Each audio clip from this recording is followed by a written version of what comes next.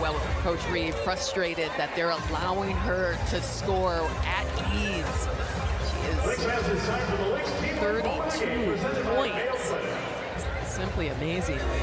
Don't miss an all-new episode of The Breakdown. We chat